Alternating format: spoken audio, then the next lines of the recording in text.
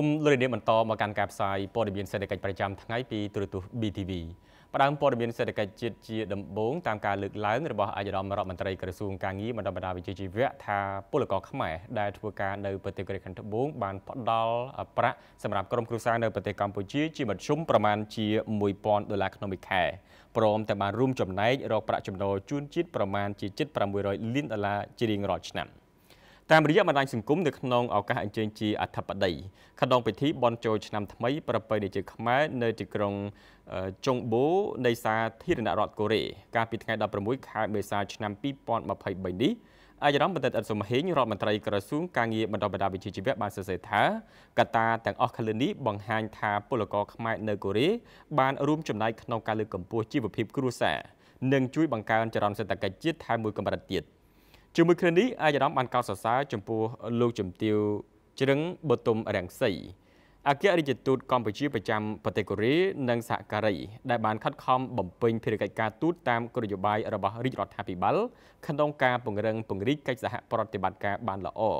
ទាំងផ្នែកសេដ្ឋកិច្ចអប់រំនិងវិស័យការងារជាដើម។ នៅចំពោះមុខពលករខ្មែរនិងនិស្សិតខ្មែរអង្គទូតនិងភិគីកូរ៉េប្រមាណជា5000នាក់នាឱកាសនោះក្នុងនាមរាជរដ្ឋាភិបាលកម្ពុជា និងក្រសួងការងារអាយរំរដ្ឋមន្ត្រីបានលើកឡើងអំពីការអនុវត្តភារកិច្ច5ដែលរួមមានទី1ពង្រឹងកិច្ចសហប្រតិបត្តិការជាមួយនឹងភិគីកូរ៉េដើម្បីរក្សានិងបង្កើនការងារជូនដល់ពលករកម្ពុជា2ផ្ដល់សេវាសាធារណៈជូនក្មួយៗពលករតាំងពីពេលប្រឡងតេស្តភាសាកូរ៉េរហូតដល់ពេលធ្វើការហើយត្រឡប់ទៅវិញ។ 3សហការជាមួយនឹងភាគីកូរ៉េការពារសិទ្ធិការងារស្របច្បាប់ និងអនុសារណៈយោគយល់គ្នារវាងប្រទេសទាំងពីរ4ផ្ដល់ការបណ្ដុះបណ្ដាលវិជ្ជាជីវៈបង្កើនសមត្ថភាពជូនក្មួយៗដើម្បីអាចរកការងារថ្មីនិងត្រៀមលក្ខណៈសម្បត្តិពេលដែលវិលត្រឡប់ទៅវិញទី5សម្របសម្រួលបញ្ហាផ្សេងៗការប្រឹក្សានិងដោះស្រាយបញ្ហាទៅដល់ក្មួយៗដោយមិនគិតពីភាពនឿយហត់ ហើយក្រៅពីនេះក្រុមការងារកំពុងជួយសម្រួលក្នុងការបង្កើតនៅវត្តខ្មែរនិងមជ្ឈមណ្ឌលវប្បធម៌ដើម្បីឲ្យក្មួយៗបានគោរពនៅព្រះពុទ្ធសាសនា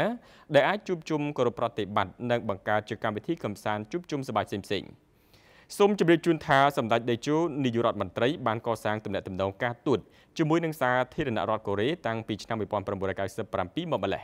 ចាប់តាំងពីពេលនោះមកកិច្ចសហប្រតិបត្តិការលើគ្រប់វិស័យមានការរីកចម្រើន ជាពិសេសនៅក្នុងឱកាសនៃកិច្ចប្រជុំកំពូលអាស៊ាន និងកិច្ចប្រជុំពាក់ព័ន្ធការប្រជុំឆ្នាំ2022កន្លងទៅនេះសម្ដេចនាយកក៏បានជួបនៅប្រធានាធិបតីសាធារណរដ្ឋកូរ៉េដើម្បីពិភាក្សាការងារនិងពង្រឹងចំណងកិច្ចសហប្រតិបត្តិការរវាងប្រទេសទាំងពីរឲ្យកាន់តែរីកចម្រើនឡើងមួយកម្រិតថែមទៀត។